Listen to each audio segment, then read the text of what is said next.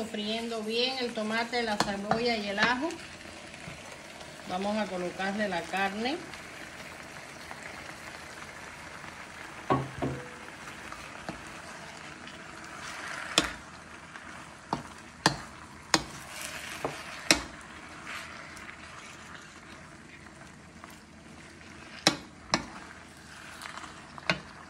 y el chayote y vamos a hacer una carne salteada con este vegetal.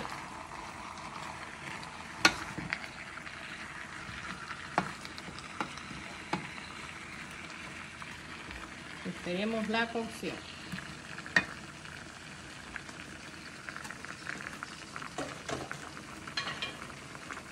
Vamos a agregarle un poquito de comino